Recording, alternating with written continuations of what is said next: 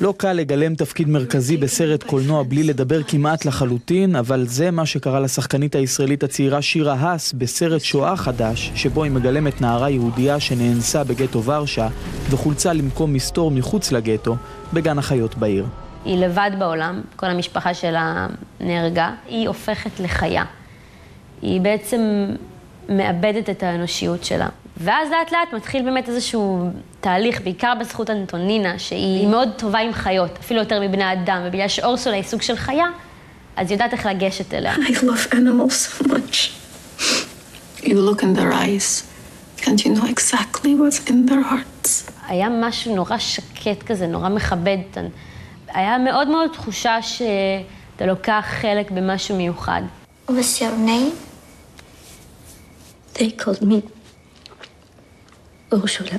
שירה הייתה אחת משתי השחקניות הישראליות היחידות על סט הצילומים. רק בשלב מאוחר יותר נודע לכוכבת הסרט, ג'סיקה צ'סטיין, שהשחקנית הצעירה שלצידה היא נכדה לניצולי שואה.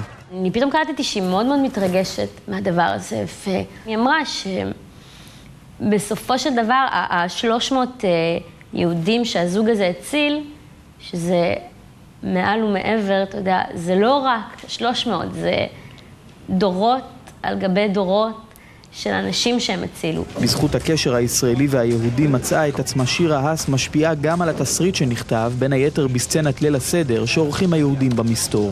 בהתחלה בתסריט זה היה בכלל כאילו, פשוט היה חלק נכבד מהגדה שאני אמורה לקרוא בעברית. ואז היה לנו שיחת סקייפ, לי ולניקי, והתחלנו להקריא, והייתי אמורה להקריא בעברית, והתחלנו להקריא, ואז הגענו לקטע של הארבע שאלות, של מה נשתנה. ואז אמרתי לה, הכי כזה בנונשלנט, אמרתי לה, את יודעת שאנחנו, כאילו, אנחנו נוהגים לשיר את זה. אז היא פשוט הסתכלה עליי. אוקיי.